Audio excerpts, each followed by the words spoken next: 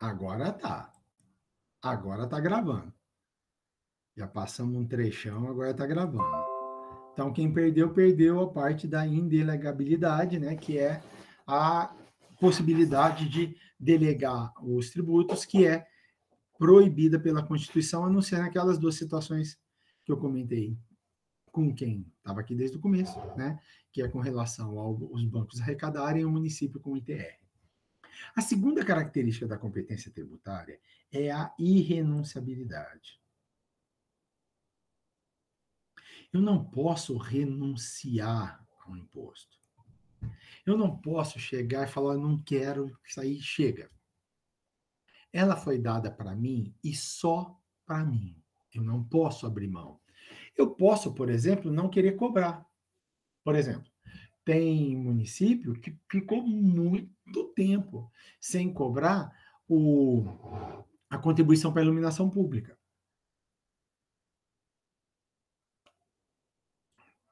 Por quê? Ah, achava que não precisava. Existem alguns municípios que até hoje não cobram. Por quê? Município pequeno. Se o, o prefeito que instituir não elege nunca mais, PHI, norte de Minas, sertão nordestino, norte do país, até mesmo alguns rincões lá do sul, cidades 3, 4 mil habitantes, 5 mil habitantes, que o prefeito conhece todo mundo, o primeiro que instituía cobrança pela iluminação não elege nunca mais, nem pagaria. Resultado, ele não, não renunciou, não quero, fala isso, simplesmente não edita a lei para cobrar. Mas se vier alguém e quiser, pode? Pode. Por quê? Porque não tem como renunciar. Não tem como abrir mão, não tem como falar, ó, isso eu não quero. Afaste isso de mim. E nunca mais ninguém pode. Uh -uh. Sempre é dada e todo mundo tem que fazer. Não pode renunciar. Tá? Existe uma, um artigo, tentando lembrar aqui qual que é. Não vou lembrar, não.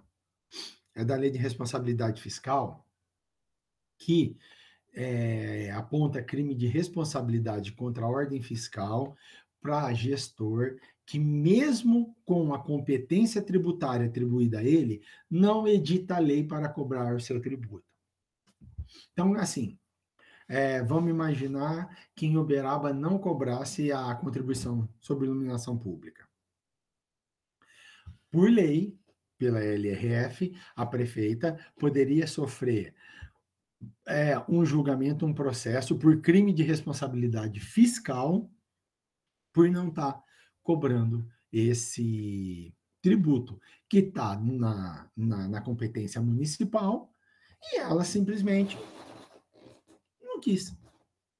Então, ela pode ser processada por causa disso? Pode, claro. Lei de responsabilidade fiscal dá, inclusive, impedimento para exercício do cargo. Nesse caso. Tá? Então, tem que botar todos os tributos funcionando, tem que botar todos os tributos funcionando. Qual que é a ideia do legislador quando fez a lei de responsabilidade fiscal? É, se, o, se a Constituição te deu essa competência para você tributar e você não está fazendo, você está prejudicando, de uma certa forma, a população da sua cidade. Professor, como assim? Fácil. Por que, que existe a COSIP, a Contribuição sobre Iluminação Pública? Porque as prefeituras estavam de saco cheio de ter que pagar energia elétrica, claro, a luz da rua alguém paga, e só podia pagar com dinheiro dos impostos. O que, que foi falado? Ah, nós paramos de, de reformar a escola, de fazer novas escolas, de construir posto de saúde, porque não tem dinheiro, tem que pagar energia elétrica. Então, deixou transmitir esse pagamento da energia elétrica para o cidadão, para sobrar dinheiro para a prefeitura fazer mais coisas. Então, vocês estão percebendo? Qual que é a ideia? Se eu te dei a competência tributária, é para você exercer. Se você não está exercendo, o dinheiro que você está usando para pagar aquele algo que você não está exercendo, ou então não está tributando, não está arrecadando imposto em PTU das casas, alguém está perdendo.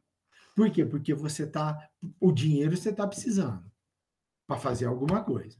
Se você não faz, alguém está perdendo.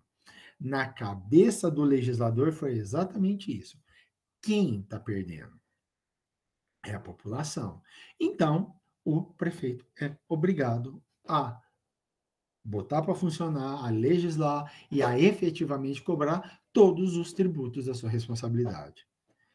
Professor do céu, você acabou de falar para mim, professor, que lá no Nordeste, no Norte, nos rincões do Sul, Norte de Minas, tem prefeito que não cobra, professor. Está impeachmentando todo mundo? Pois bem. Aí que vem o detalhe. A Câmara dos Vereadores também não vai contra. Por quê? Porque o vereador que falar que o prefeito é obrigado a instituir o tributo e que jurar ele de morte política com impeachment, vocês já pensaram como que a população vai olhar para esse cara? É a mesma coisa do prefeito. O mesmo que o prefeito da pequena cidade de 2, 3, 5 mil habitantes, sabe essas microcidades, tipo Delta, Conceição das Alagoas, essas cidades em água comprida, que todo mundo conhece todo mundo, todo mundo abraça todo mundo. O cara, quando é político, ele vai e abraça todo mundo, que ele conhece todo mundo. Já pensou? Eu nunca paguei na minha vida um centavo para a luz do poste. E agora eu passo a ter que pagar 50 conto pela luz do poste. O cara não é eleito para mais nada. E o vereador que pega no pé e obriga o prefeito a fazer, o prefeito faz. Mas aquele vereador não, nunca mais. Para nunca mais. Ô, Maroca. Oh, meu Deus do céu. Voltei. Para nunca mais. Para nunca mais mesmo. Então, em cidades pequenas, devido às características populacionais, devido às características eleitorais, à proximidade, essa parte da lei de responsabilidade fiscal fica sem, sem cumprir. Então, todos os prefeitos estão na ilegalidade, mas também não tem quem cobre a legalidade desses atos. Tudo bem? Então, se por acaso você chegar a descobrir uma cidade que não tem a cobrança da, da luz, da COSIP, da contribuição sobre iluminação pública, agora vocês já sabem por quê. Mesmo sendo obrigado, é porque o Beraba é que é mal. Não, não, o Beraba é que é mal, não. Se a prefeita não cobrasse, ela era impeachmentada, porque aqui o pessoal não está nem não. Pelo contrário, né? Aqui impeachmentava sem dó. Tem que cobrar. Agora, numa cidade pequena, é, é, é, com todo mundo conhecendo todo mundo, a história é outra. A história é outra. Terceira característica: incaducabilidade. Não há competência tributária não caduca, não perde a validade. Isso quer dizer o quê? Quer dizer que aqueles prefeitos que não colocaram a, a COSIP, o dia que der vontade de colocar, o dia que alguém enfrentar e falar, eu tenho que colocar, eu vou justificar para o povo por que, que eu tenho que colocar eu tenho que fazer a coisa certa, vai estar tá lá para ele. Do mesmo jeito que ele não pode renunciar, que ele não pode falar, eu não quero essa porcaria, ó, oh, eu, Beraba, não quero Delta, pode cobrar a minha, porque eu não quero. Do mesmo jeito que ele não pode falar isso, também não vence. O dia que ele quiser fazer, ele pode fazer, que está autorizado, está liberado. A partir do momento em que liberou a competência para criar o tributo, está liberado, pode fazer, manda bala. Desce a lenha. Tá? Então, não precisa, não tem esse negócio de, ai, eu tenho que fazer correndo, senão vou perder o direito de fazer, não. Pelo contrário. Não importa o decurso do tempo você nunca perde essa faculdade, não é nem uma faculdade, é uma obrigação, né? Acabei de falar que pela LRF é uma obrigação. Você não perde essa obrigação de fazer, ela fica com você, ela é sua. O dia que você quiser cumprir com ela, o dia que você quiser fazer, o dia que você quiser publicar, está liberado, ela é sua. A quarta característica é a inalterabilidade. O sistema tributário nacional ele é protegido pela égide das cláusulas pétreas. O que, que é isso?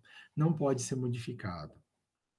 Apesar de que tem gente que tem outra, um outro entendimento, falando que você não pode deixar ninguém sem tributo algum.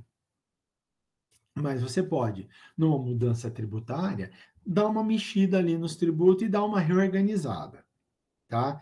Nunca foi feita uma reforma tributária tão ampla para a gente falar que não, teve condição e o STF deixou. Tá? Mas por enquanto, não se pode fazer modificação de, de ente tributário. Né? Imagina-se que uma emenda constitucional faça isso, mas até hoje, tudo do jeito que a Constituição, que o pessoal deu 88, deixou para nós, né, os criadores da Constituição, continua funcionando do mesmo jeito, continua do mesmo tamanho, não mudou. Tá bom? Quinta, facultatividade. Pois é, constitucionalmente, constitucionalmente, é facultativa a criação de imposto, de tributos. Facultativa. Legalmente, pela LRF, não, é obrigatório. De onde que você tirou, então, professor, que a Constituição fala que é facultativo? A União tem um imposto que até hoje ela não criou imposto sobre grandes fortunas. E como eu já falei para vocês, nunca vai criar. Porque se tem um lugar que as grandes fortunas estão extremamente bem representadas, é lá no Congresso. Então nunca vai criar. E não há sanção para a criação desse imposto. Professor, você nunca acabou de falar que a LRF fala que tem que criar tudo, professor. Falei. Falei sim. Mas o que, que acontece? Quem da Câmara dos Deputados, do Senado, vai se levantar e falar, e vamos, e vamos brigar, e vamos impeachment o presidente que não cobra o IGF? Ninguém. Até porque todos seriam tributados. Até porque a tributação alcançaria todos. Então, finge que não vê e segue o jogo privatividade. Isso é, a competência é privativa. Privativa. Então, elas, pronto, fica prontinho lá. Se eu falar que o IPVA do Estado, o município não pode cobrar. Se eu falar que o imposto de renda é da União, estados e municípios não podem cobrar. Ele é privativo do, da União privativo dos estados, privativo dos municípios. Taxas e contribuições de melhoria são concorrentes, isso é, todos eles podem cobrar. Empréstimo compulsório é privativo do governo federal. E contribuições especiais são privativas do governo federal, exceto as dos servidores para financiamento da previdência própria, que aí são concorrentes com estados e municípios. Mas a característica principal é a privatividade, é ter um, uma espécie tributária que só um ente pode cobrar. Ou, no caso do imposto, uma espécie de imposto que só um ente pode cobrar. E somente aquele ente. Os outros entes não podem. A competência pode ser, como eu falei, privativa ou exclusiva. A exclusiva é aquela que é determinada com exclusividade. Nesse caso, a União é exclusiva no IR, Estados e Distrito Federal no ICMS. Ou principalmente, deixa eu ver. Ah, não coloquei. Ou principalmente. Cadê minha canetinha? Canetinha. Imposto especial de guerra, que nós falamos, impostos residuais e contribuições residuais. Imposto especial de guerra, impostos residuais e contribuições residuais, elas são exclusivas. da União. Só a União pode. Assim como o imposto de renda. Já Estados e Distrito Federal têm no ICMS a sua competência. E é comum aqueles que é comum a todos eles, como eu disse, né? Taxas e contribuições de melhoria, principalmente porque taxas e contribuições de melhoria são tributos que se adaptam a todos. Tributos que se adaptam a todos eles. Para vocês terem. Professor. Oi. A sua tela não está aparecendo grande aqui, não. Está parecendo bem pequenininha aqui no canto direito. Não sei se é só para mim. Pessoal, como que tá para vocês? Para mim no celular tá normal, como é normalmente, né? Para mim também tá normal. A tela grande ou pequena? Então, ó, eu não sei quem falou. Ô, Pri, Foi a Priscila. é... Pri, Ó, Oi. clica, tenta. fixa a tela, fixa a tela do, do slide. Ou às vezes ela certo. fixou a do professor. Deu certo aqui agora. Obrigada. Ah, beleza. Tava fixada na minha, né? Então, ó, a Manuela veio aqui, gente, tava falando, papapá, taxa. Ah, o, o, para vocês verem como, quando o político cria o sistema tributário sem entender muito bem como que funciona, é, o Brasil, acho que só Brasil e Índia, acho que só Brasil e Índia cobram, deixa eu botar uma tela em branco, cobram impostos, impostos do tipo IVA, que é imposto sobre valor agregado. Só Brasil e Índia que os impostos do tipo IVA são estaduais e municipais e não federais. No resto do mundo todo, o imposto do tipo IVA, ele é ele é, é nacional.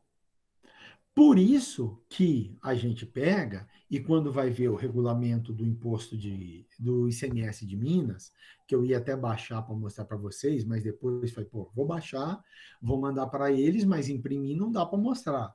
É, são 538 páginas. Só o regulamento do ICMS de Minas. Agora, você imagina, no Brasil são 27 estados.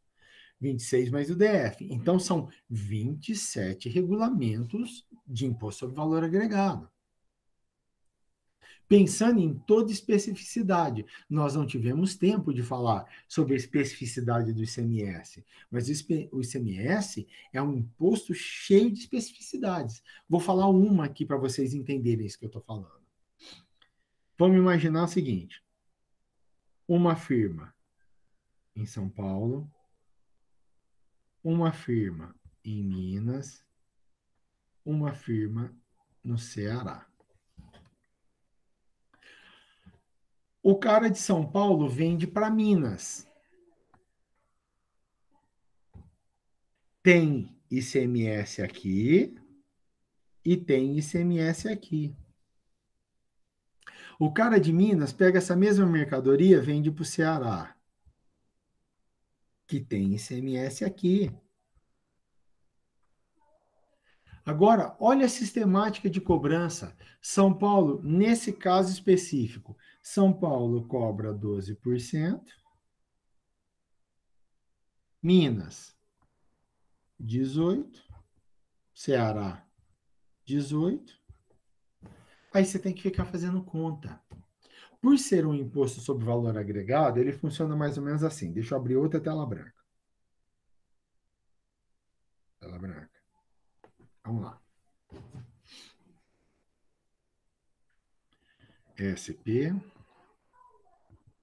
MG, Ceará. Eu vou fazer dois exemplos, um hipotético e um mais ou menos próximo do real. Só vou mudar as alíquotas para facilitar minha conta. Vamos imaginar que a alíquota base para todos os estados seja de 10%. Aliás, seja de 20%. Para todos os estados. Mercadoria de 100 em São Paulo. Paga quanto de ICMS? 20. Vai para Minas. Aqui em Minas, o cara dá uma beneficiada, bota uma embalagem, faz algumas coisas, vende por 400. Quanto paga de ICMS? 80. Vende para o Ceará. Lá no Ceará, vendem por mil reais a mercadoria. Quanto que vai pagar? 200 reais de ICMS. Vamos fazer a conta. Opa, 290 não, né, fi? Acha. 200. Vamos fazer a conta. 20.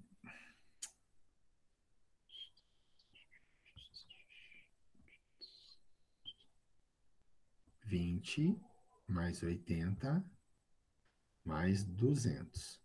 Zero, zero, vai um, trezentos reais de imposto. Olha bem para mim, olha bem para essa cadeia. O produto vendeu por mil reais. Se eu cobrar 300 reais de imposto, eu estou cobrando os 20%? Não estou. Eu estou cobrando 30%. Então, isso está errado. Isso aqui é a cumulatividade do imposto. Significa que o imposto é cumulativo. O ICMS é não cumulativo. O que, que significa isso? Significa que, como vocês devem ter visto com o Vicente, a canetinha, nós vamos fazer um razonete. Aqui tem um razonete, aqui tem um razonete, aqui tem um razonete. São Paulo mandou, debitou 20. Minas recebeu. São Paulo já tinha debitado 20. Então, Minas credita 20 e debita 80. Hora que faz o razonete, paga 60 e manda. Chega no Ceará, Minas já se debitou de 80, então aqui credita 80. Paga 200. Faz o razonete, 120. Agora a gente faz a conta. 20 mais 60 mais 120, 0, 0, o 200. Que coincidentemente é o preço do é a alíquota cobrada no produto final. O que, que isso significa? Significa que o imposto não é sobre cada venda, é sobre o valor que agrega em cada venda. De 100 para 40, para 400, agregou 300. Então eu fiz 20% de 300, só do que agregou, por isso que deu 60. De 400 para 1.000, agregou 600. 20% de 600 é 120. É só o que agregou. Por isso é imposto sobre valor agregado. Agora imagina, olha a confusão, tendo que pagar para todos os entes. Se fosse nacional, nacional, vou pagar os razonetes, que nós não precisamos mais.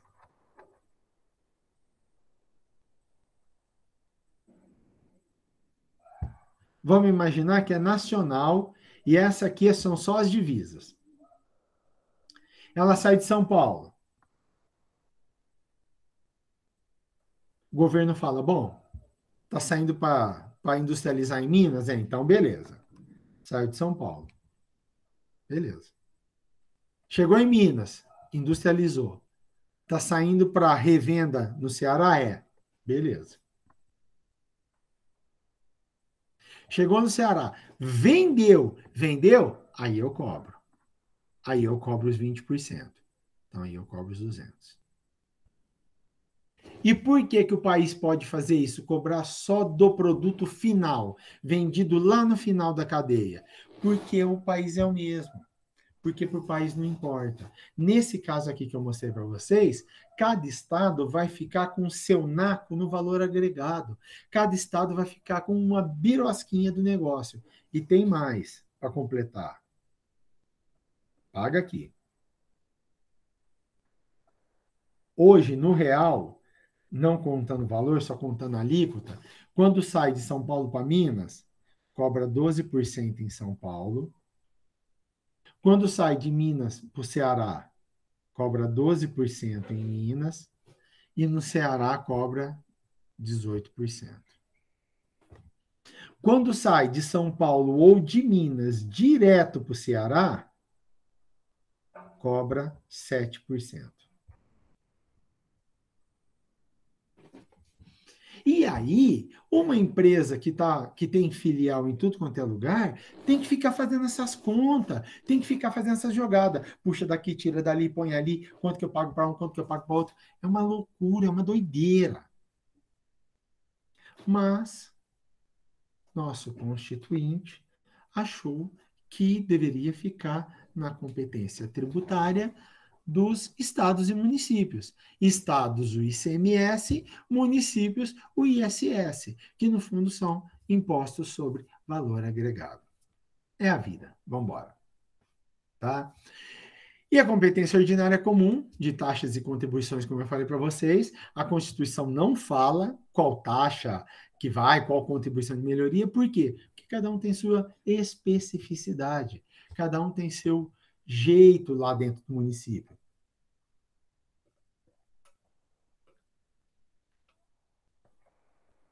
Hoje, por exemplo, como eu expliquei para vocês, a dificuldade de se cobrar uma contribuição de melhoria tão grande, mas tão grande, que o, a prefeitura prefere não cobrar.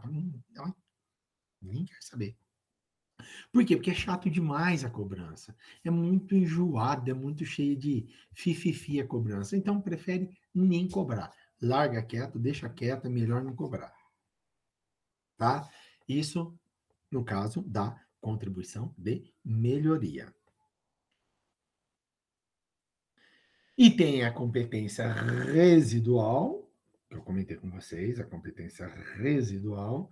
Essa competência residual é aquela que a Constituição deu para a União criar outros impostos e, e, e outras contribuições.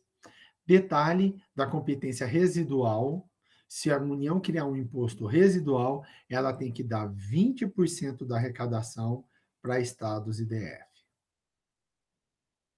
Ah, é, é. Dá 20% para estados e DF.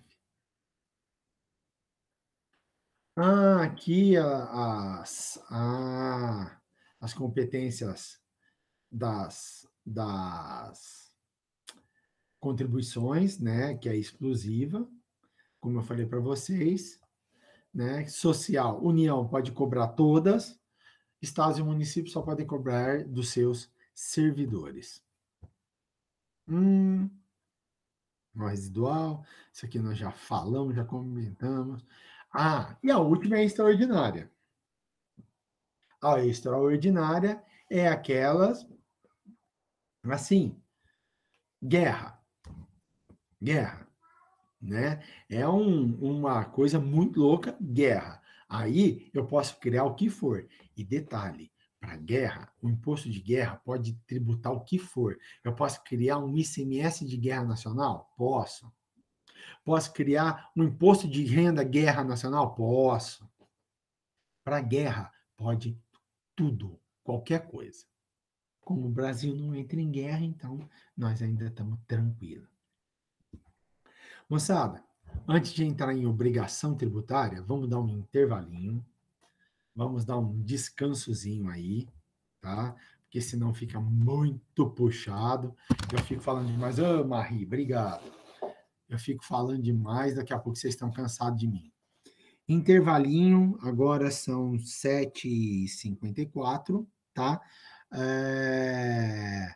Vamos lá, às 8 e 50, 8 e 5, a gente volta, tá bom? 8 e 5 a gente volta. Quem não respondeu presente, escreve presente aí no chat para ir lá para a nossa lista de presença. Tá joia? Já já a gente volta.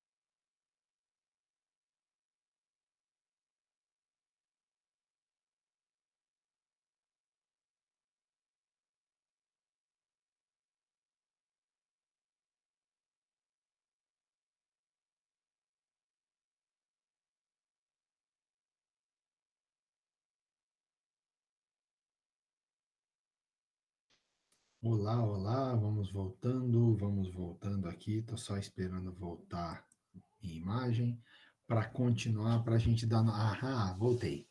Vamos continuar agora, vamos dar nosso último gás, e aí a gente, seja pelo menos por um tempo, vocês vão ficar sem ver minha cara, vocês vão ficar tranquilos, não vai precisar me ver. Né? Afinal, semestre que vem a gente não se vê. Tudo que eu podia falar, já estou falando agora. Semestre que vem a gente não se vê, a gente não se encontra. Vamos lá, então. Deixa eu voltar a minha presentation. Aqui. Pronto. Vamos falar um pouco agora sobre obrigação tributária. O que, é obrigação tributária? Obrigação tributária é a obrigação que, que liga o poder público, o governo, o ente tributante e o contribuinte. Quem que é o contribuinte? Contribuinte é o responsável pelo cumprimento da obrigação tributária. Ponto final. Contribuinte é o responsável pelo cumprimento da obrigação tributária. Minha gata está aqui tentando pular aqui. Nem vem, Maroca tá? Então, ó, obrigação tributária obriga o sujeito ativo, que é quem cobra, quem institui cobra, e o sujeito passivo, que é o contribuinte, que é o responsável pelo cumprimento da obrigação tributária. Quem que é esse contribuinte, esse responsável? Depende. Depende do que, professor? Depende do tributo que você está vendo.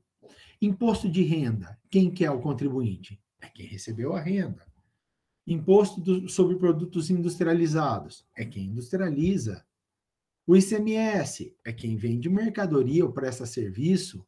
O IPTU, dono de casa. O IPVA, dono de veículo automotor.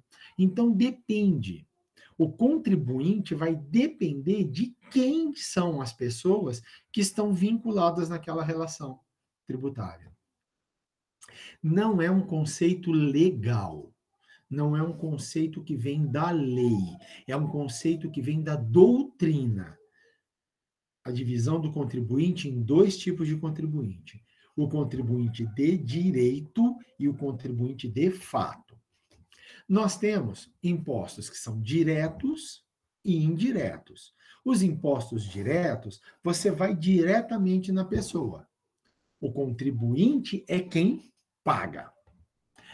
Mais que isso, vou usar um conceito econômico, parafraseando o Luciano. O contribuinte é a pessoa que desembolsa, é a pessoa que usa da sua renda para pagar o tributo. É ele, o dinheiro sai do bolso dele. Ele que é o responsável por tirar do bolso dele e pagar. Já o tributo indireto, não. O tributo indireto, eu posso passar para um terceiro o ônus do tributo. Eu não passo a responsabilidade pelo pagamento, continuo sendo eu, mas eu passo o ônus para o outro. O ICMS, por exemplo. Todos nós pagamos ICMS. O contribuinte do ICMS é o vendedor do produto. É o tio da cantina, é o vendedor da, da, da loja de conveniência que vendeu a cerveja, é o cara do boteco que está vendendo alimentação, é o dono do restaurante, é eles. Quem são contribuintes. Mas, no fundo, quem que paga? Somos nós. Por quê? Porque o ICMS está embutido no preço. O ICMS é um imposto por dentro. Isso é, ele está embutido no preço. Quando vem o preço, já vem o preço com o ICMS. Já vem prontinho. Então, no fundo, no fundo, quem que paga o ICMS? Quem que desembolsa para pagar? Nós. Nós somos os responsáveis por desembolsar para pagar o ICMS. Mas quem que é o contribuinte? É o lojista. Ele só transfere a responsabilidade do pagamento do ICMS para nós. Só isso. Ele só faz uma transferência da responsabilidade pelo pagamento. Entenderam? Então, mesmo assim, mesmo nesse caso do ICMS, fala, Marie, Mesmo nesse caso do ICMS, o contribuinte continua sendo o mesmo, lojista. É ele quem é o sujeito passivo. Eu sou contribuinte de fato, mas quem é o contribuinte na lei é ele. Obrigação tributária se divide em duas: obrigação principal e obrigação acessória. Obrigação principal: pagar. Ponto final. Ah, é obrigação instituída em lei, pá, pá, pá, pá. pagar. Qual que é a obrigação principal de todos os tributos? Pagar o tributo. Ponto final. Já a obrigação acessória, não. Existem diversas obrigações acessórias. As mais comuns no Brasil: escrituração. Aí vocês lembram do Vicente, dos livros Razão e dos livros Caixa, do Lalur, para quem para quem declara imposto por lucro real.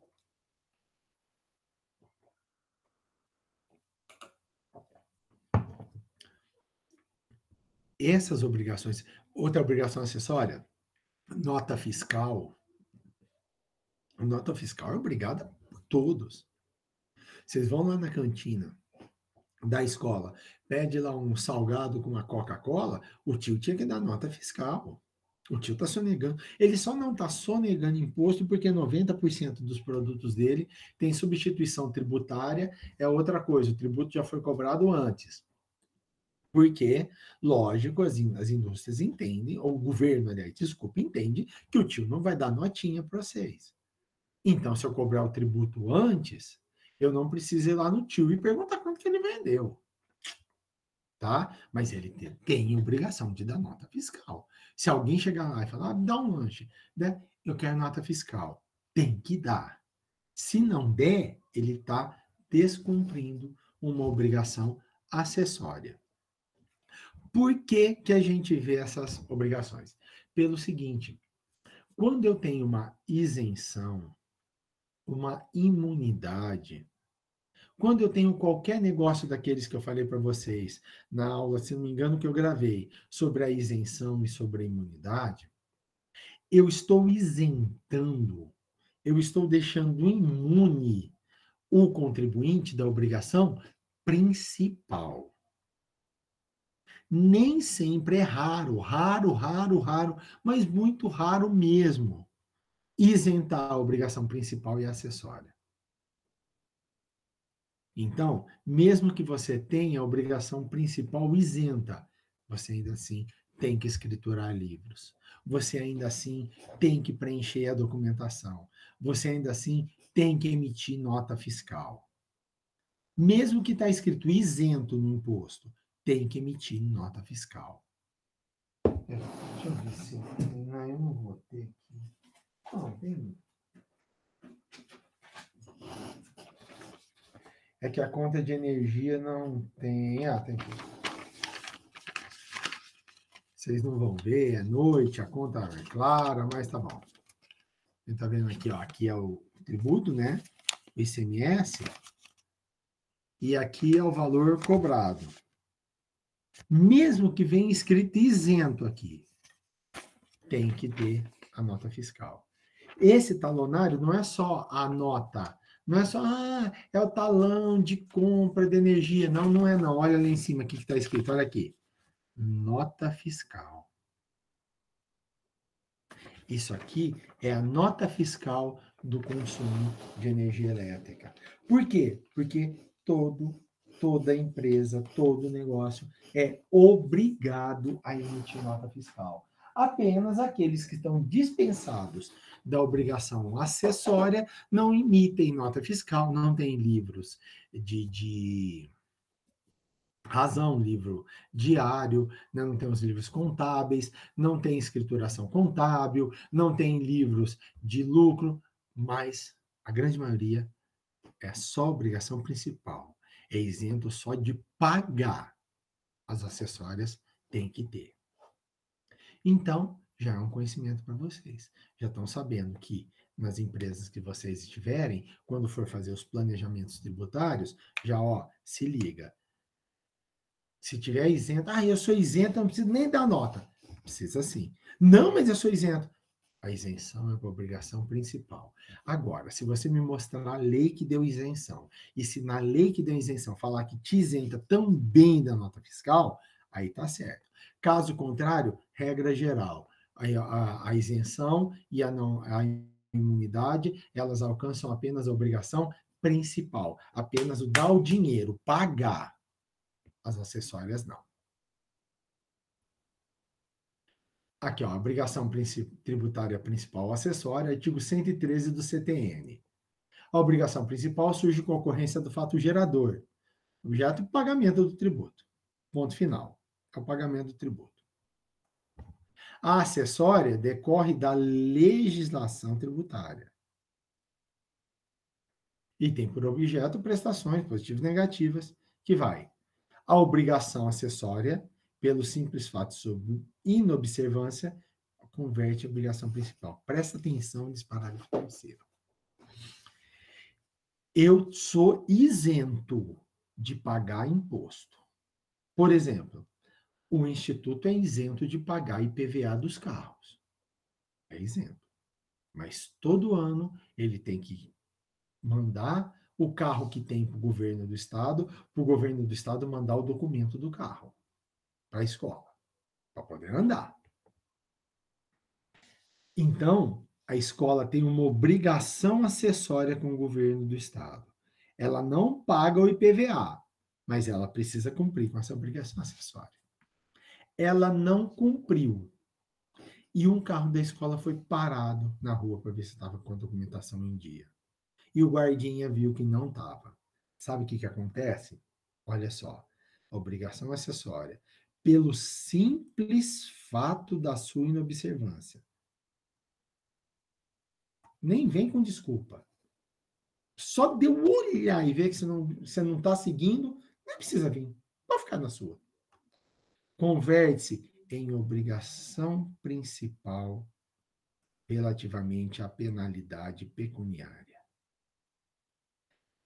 Prof, então eu estou numa empresa que acha, trabalho lá, o cara não emite nota fiscal porque ele é isento, ele falou que ele é isento, não precisa emitir nota fiscal. Se o fiscal chegar aqui e ver que não tem nota fiscal, ele pode cobrar multa pecuniária e pode querer cobrar o tributo também, se ele quiser?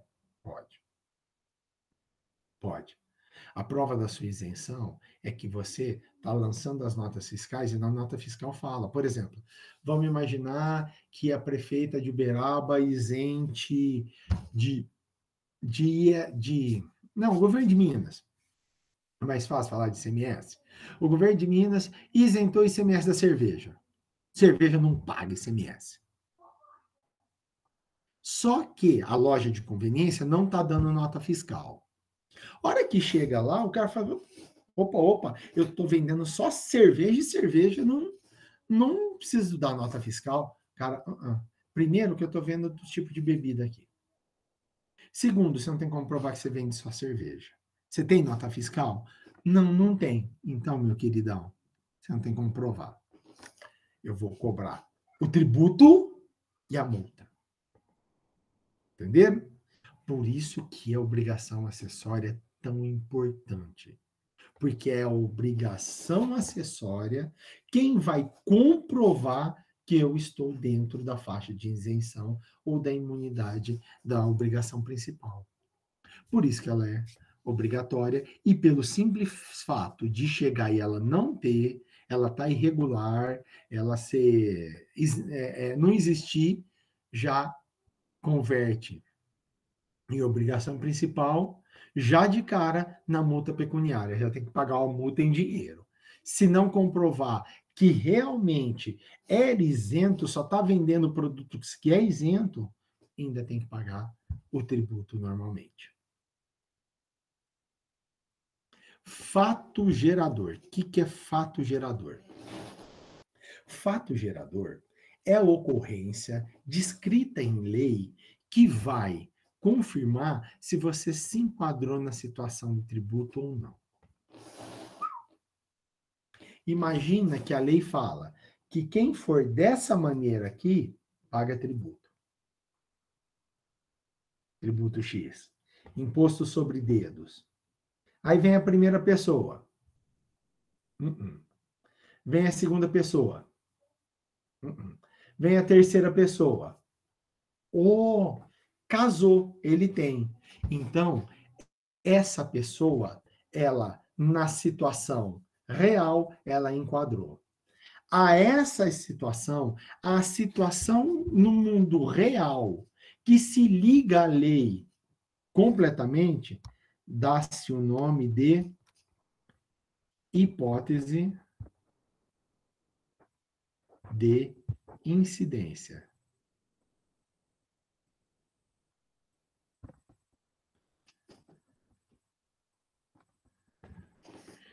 Horrível. Hipótese de incidência. E o que, que é hipótese de incidência? É o fato descrito em lei, aqui, hipótese de incidência. Esse cia ficou feio, do mesmo jeito. Quem escreve com um dedo na tela não é fácil. Hipótese de incidência, então, o que, que é? É a situação fática, é a situação do mundo real, aliás, é a situação do mundo legal, que quando acontece no mundo real, gera o fato gerador, gera a obrigação principal, gera a obrigação de pagar o tributo. É isso que é o fato gerador. Ele é composto de dois aspectos. O aspecto material é a descrição do comportamento que vai dar. Por exemplo, imposto de renda. Qual que é a hipótese de incidência do imposto de renda? Auferir renda. Qual que é o fato gerador? Eu recebi renda. Se eu recebi renda e na hipótese de incidência fala que é receber renda, então, ó, casou. Qual que é a hipótese de incidência do IPTU? Ser proprietário de imóvel no dia 1 de janeiro do ano. Qual que é o fato gerador? Eu sou proprietário de imóvel. Se eu sou proprietário de imóvel, eu caso na incidência. Então, eu pago, eu pago imposto. Ali nós temos um fato gerador.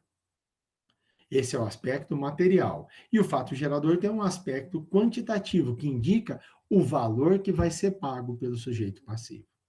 Que é isso que nós vamos começar a ver a partir de já.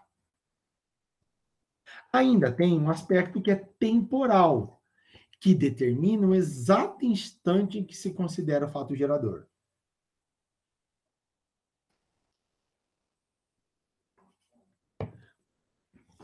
No mundo legal, no mundo ideal, no mundo legal, uma pessoa que compra um carro dia 2 de janeiro e vende dia 31 de dezembro, ela não paga IPVA. Ah, professor, mas se for comprar, ele paga? Isso aí é outra história. Mas, todo ano você comprar um carro no dia 2 de janeiro, vende 31 de dezembro, compra de novo dia 2 de janeiro, vende dia 31 de dezembro, o Estado nunca vai reconhecer você como contribuinte do IPVA. Por quê? Porque o aspecto temporal do fato gerador, da hipótese de incidência do tributo IPVA, do imposto IPVA, é ser proprietário de veículo automotor em 1 de janeiro. Então, se você comprar dia 2, vender dia 31, comprar dia 2, vender dia 31, você nunca vai ser proprietário em 1 de janeiro. Então, você nunca vai ser contribuinte do IPVA. Aí entra a história do contribuinte de direito e contribuinte de fato. Acaba que você tem que pagar, porque você vai lá comprar, e aí você tem que pagar. O Estado de Minas tem uma coisa que é assim mais absurda ainda, mas a lei está ali, permite, que é o seguinte: se você for no estado de Goiás e comprar um carro zero, hoje, o que, que o governo de Goiás entende? Hoje, você comprou o carro. Você é proprietário em 1 de janeiro? Não. Você comprou o carro hoje. Então, no dia 1 de janeiro, você não era proprietário. Então, até dia 31 de dezembro, você não paga imposto, não paga IPVA. Por quê? Porque você não era contribuinte em 1 de janeiro. Acabou. E o IPVA é claro, contribuinte 1 de janeiro. Em Minas, se você for comprar um carro hoje, sabe o que o governo faz? Hum, nós estamos em junho. O IPVA é do ano inteiro. Então, junho, julho, agosto, setembro, outubro, novembro, dezembro. Você paga 7 dozeavos do IPVA do carro. Mas, professor, o senhor não falou que eu não era contribuinte? E realmente não é.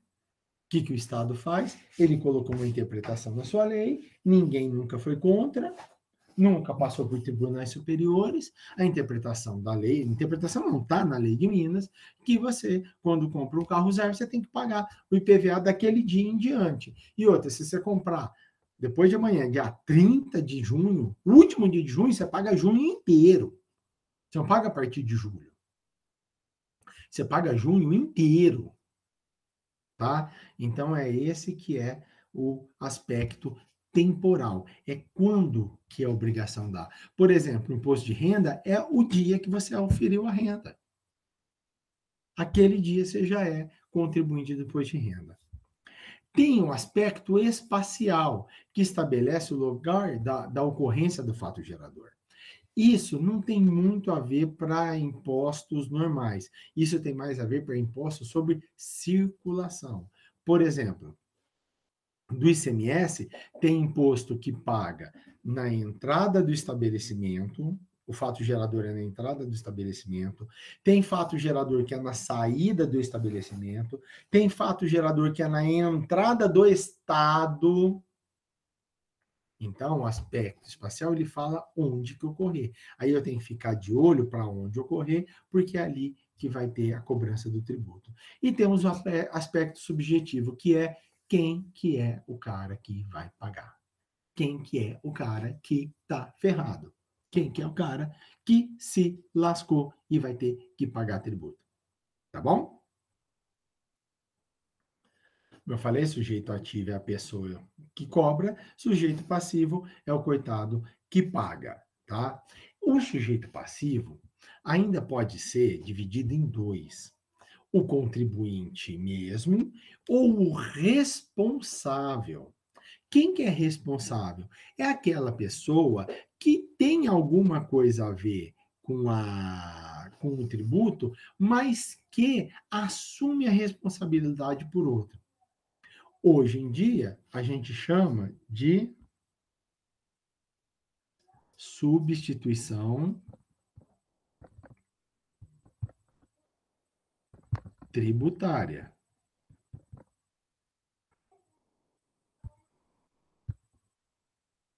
O que, que é a substituição tributária? É quando eu, legislador, Acho que ó, é difícil cobrar ICMS do tiozinho lá na cantina no IF. Como que eu vou mandar um fiscal lá só para fiscalizar aquela cantina? E outra, deslocar um fiscal para lá. Sendo que ele pode fiscalizar outras empresas muito maiores. Ah, quer saber de uma coisa? Eu não vou fiscalizar o tio da cantina. Por quê? Porque o tio da cantina não vai pagar. Ele é contribuinte. Ele é contribuinte, mas ele não é responsável pelo recolhimento. Quem que eu vou falar? Vou falar com a indústria. Recolher antes dele. Então, ele, o tio vira um substituído e a indústria passa a ser o substituto. Com isso, a indústria passa a ser a responsável por recolher o, o ICMS do tio da cantina, que é o real contribuinte. Tá? Então, tem essas duas figuras: a figura do contribuinte e a figura do responsável. Se tiver um responsável na jogada, o contribuinte continua contribuinte, ele não deixa de ser contribuinte. O contribuinte é o tio da cantina. É ele quem vai é, praticar o ato fático no mundo real que vai casar com a lei. É ele quem vai trabalhar com a hipótese de incidência. É ele quem vai cumprir, quem vai ter o fato gerador. Então, é ele que é o contribuinte.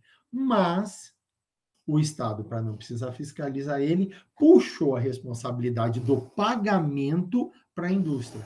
Então, quem paga é a indústria. No nome do tio? No nome do tio. Mas quem paga é a indústria. Aí a indústria solta a nota fiscal que manda para ele dos produtos faz o cálculo e recolhe o ICMS dele. E aí o Estado não precisa fiscalizar o tio, vai fiscalizar a Petrópolis, dá mais jogada, né? dá mais jogo. Fiscalizar a Petrópolis que fiscalizar o tio da cantina. É muito melhor.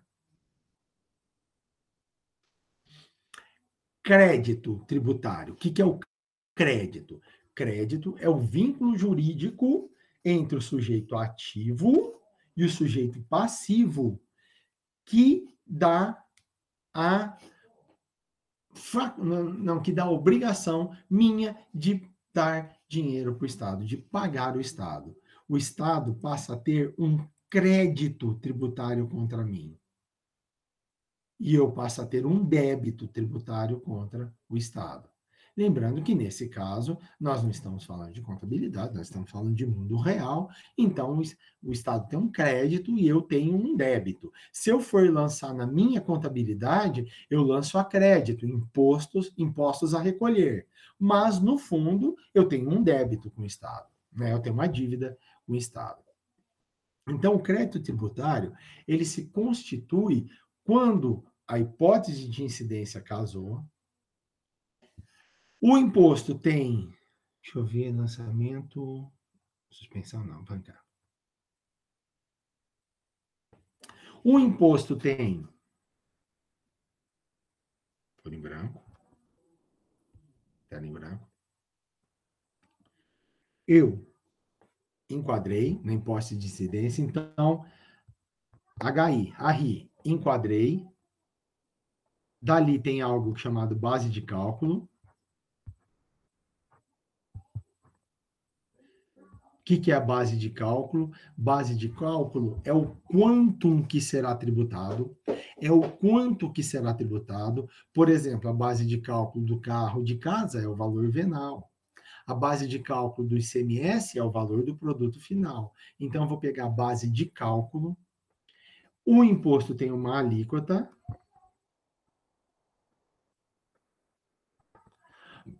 E é ali que sai o crédito.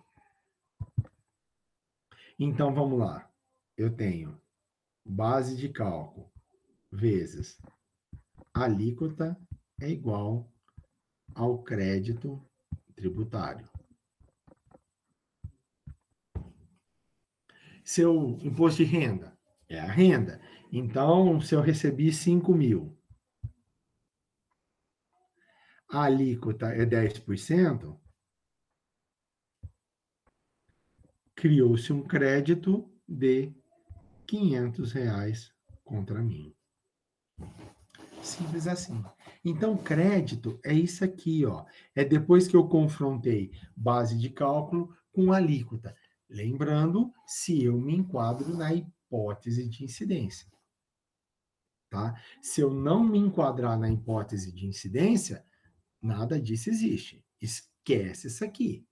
Isso aqui não existe nada como eu não me enquadro, olha, como eu me enquadro na hipótese de incidência, então eu pego aquele fato, pego a base de cálculo dele, multiplico pela alíquota e ali sai o crédito tributário.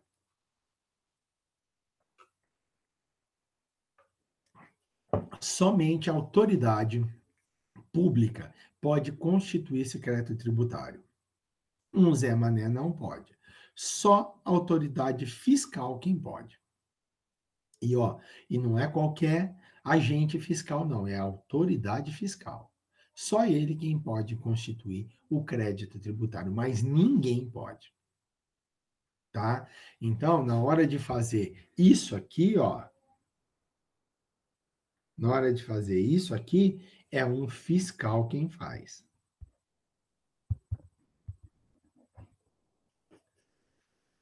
Auditor fiscal da Receita Federal do Brasil, se for Receita Federal,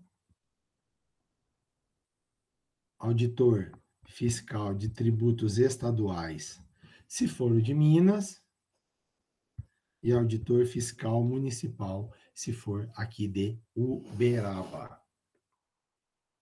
Tá? Então, só essas pessoas só essas figuras quem são os responsáveis por falar que você tem que pagar. Se não for um deles quem fez esse crédito, quem originou o crédito para vocês, quem foi lá e lançou o crédito para vocês, se não for um deles, não precisa pagar.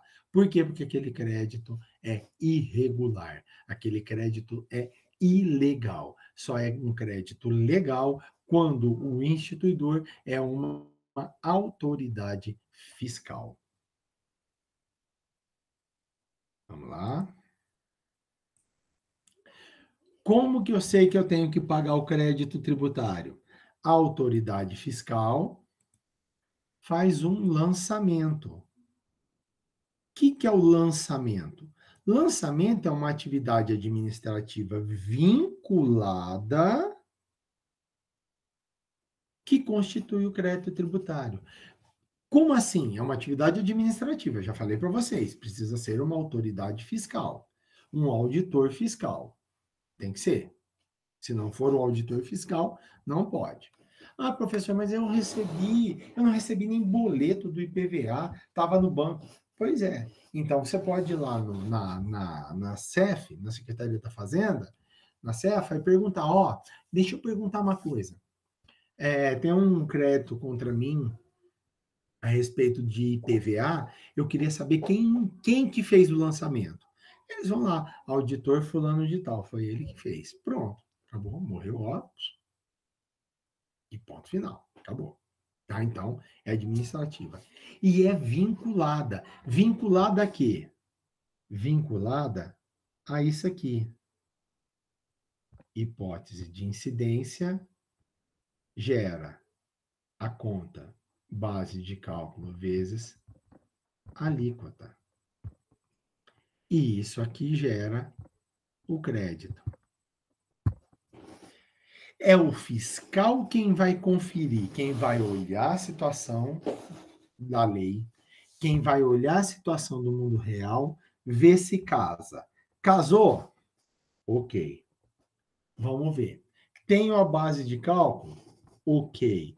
Tenho alíquota? Ok. Multiplico os dois, gerou crédito para a pessoa. Olhei para a situação, olhei para a pessoa. Casou? Não casou. Morreu aqui? Morreu tudo para frente.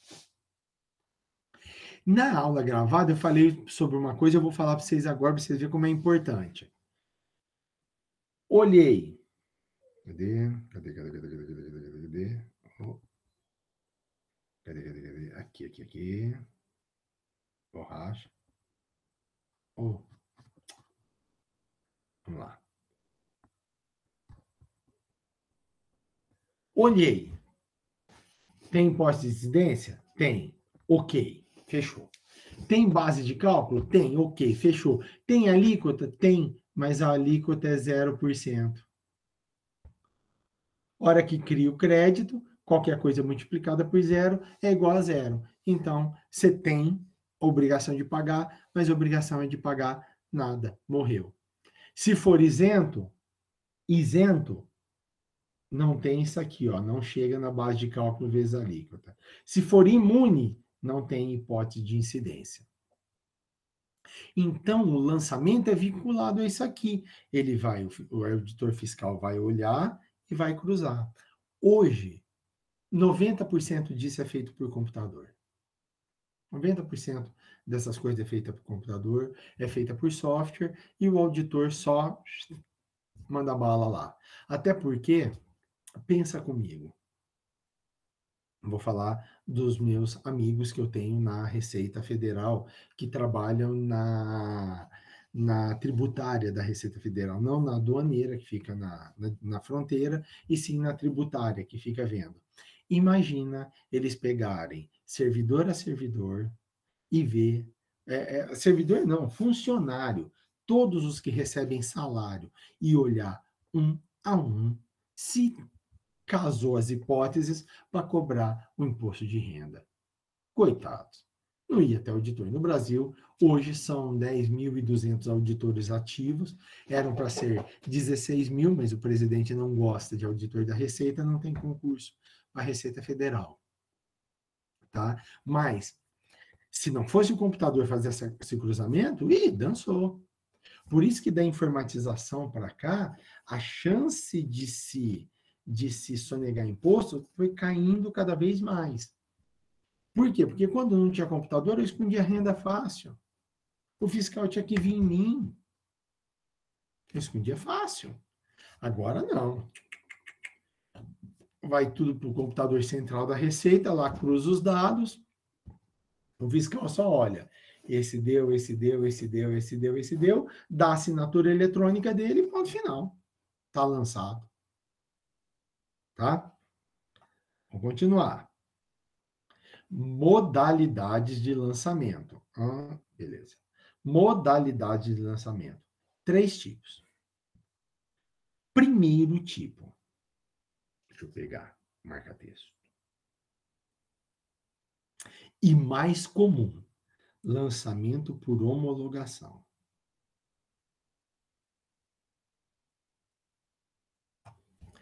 Esse é o mais comum. Mais comum. Sujeito passivo vai lá, apura o valor do tributo, faz as contas, faz tudo e paga para o fisco. E pagou. Depois, depois, o fisco vai ver se está tudo certo. Se tiver tudo certo, homologa. Que pode ser tácita, o Estado simplesmente não faz nada, ou expressa, ele te manda uma cartinha, parabéns, seu imposto foi homologado. Lembrando que o prazo para homologação de tributos é de cinco anos. Então, você ainda pode ser cobrado, se você não tiver homologação expressa, você ainda pode ser cobrado pelo seu imposto de renda nas últimas cinco declarações. Professor, imposto de renda por homologação? É, por homologação. ICMS é por homologação. Tudo isso. Por quê? Porque o imposto de renda, na declaração anual do imposto de renda, onde eu vou declarar que o governo vai ver, não é uma declaração. Eu lá eu faço é, é por homologação. Eu vou, eu declaro quanta renda eu ganhei, faço as contas de quanto eu tenho que pagar ou de quanto eu vou receber e pago. Ponto final. E aí o governo depois homologa essa, essa informação. Diferente do lançamento por declaração. A gente tem que, tem que confundir, o Brasil gosta de confundir.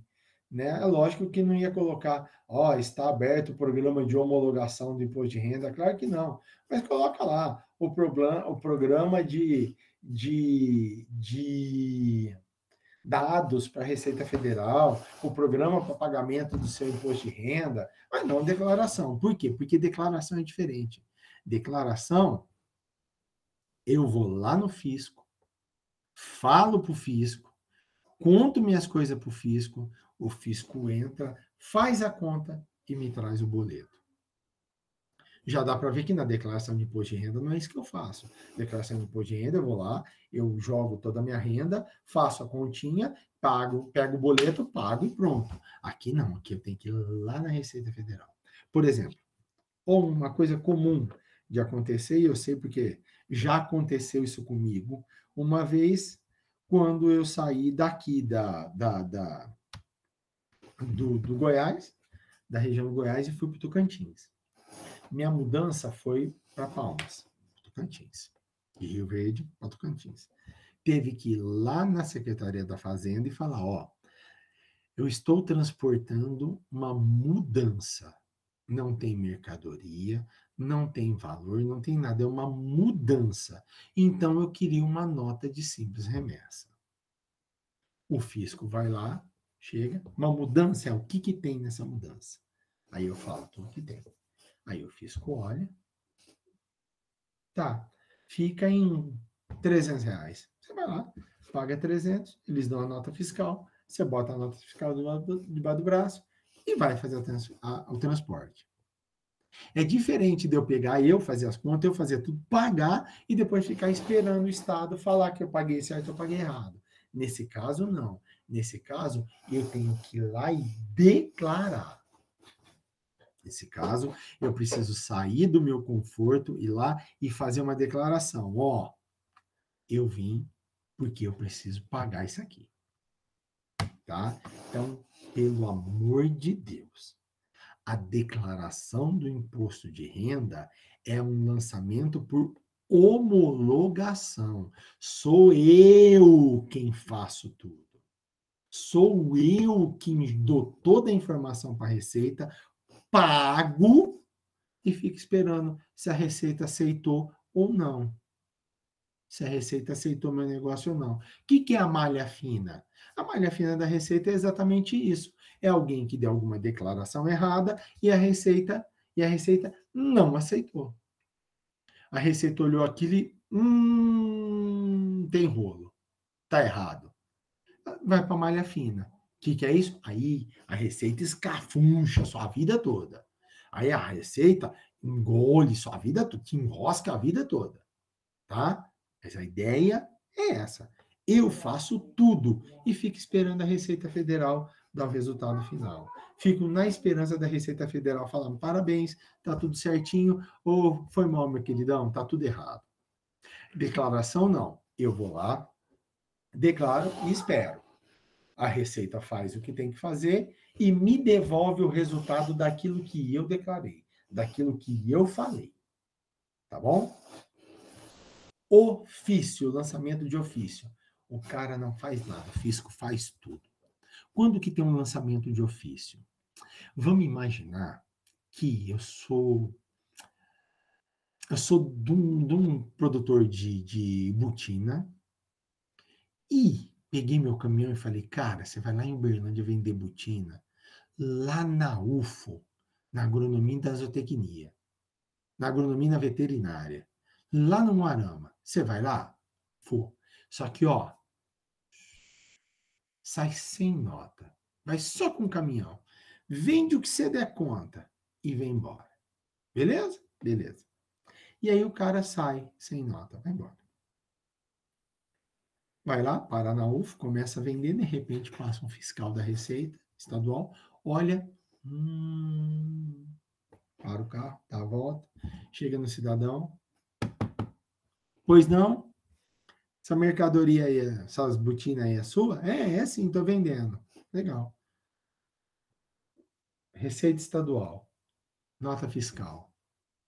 Não, então, essas botinas aqui não são bem minha, minha, minha, minha nessas botinas aqui são de outra pessoa. Eu falei assim, é minha, mas eu sou vendedor. Nota fiscal. Sim, mas se eu ver. Nota fiscal. Não tem. Não tem nota fiscal? Não. Beleza. Ele senta, olha. Deve ter umas mil botinas aqui. Essa botina aqui deve custar uns 40 conto cada uma mil vezes 40, 40 mil, vezes 20% de ICMS, dá 8 mil reais, mais 50 pau de multa por não ter nota fiscal, 58 mil reais, tá aqui, toma. Vocês estão vendo? O cara não fez nada. O dono das botinas não fez nada. Foi o fiscal quem fez tudo. Foi o que fiscal quem foi o quem arbitrou o valor da carga e foi o fiscal quem arbitrou o valor da multa. O lançamento de ofício, o contribuinte não tem participação nenhuma. É tudo feito pelo Estado. Tudo. Tudo é feito pelo Estado. Por exemplo, seu IPTU, seu IPVA, vocês fazem alguma coisa? Faz nada, nada, nada. Não precisa fazer nada.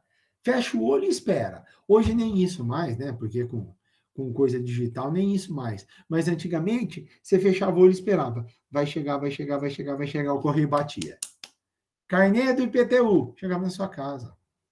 Sem você fazer nada. Nada, nada, nada, nada, nada. Por quê? Porque o IPTU e o IPVA são impostos com lançamento de ofício. O ITCMD e o ITCD, que são de transmissão de bens móveis e imóveis, eles são por declaração. Você vai lá e fala: Ó, estou transferindo um imóvel, eu comprei uma casa, eu, tô, eu ganhei um negócio, ó, morreu e eu estou recebendo minha herança. Isso aí você declara. Imposto de renda homologação. Já o lançamento de ofício é aquele onde eu não participo de nada. Participo. Eu não participo do lançamento, eu participo da última etapa, do pagamento. Só isso. Só. Minha única obrigação é pagar. Pagar o quê? O que o Estado me mandar. O que o Estado me mandar. Ponto final.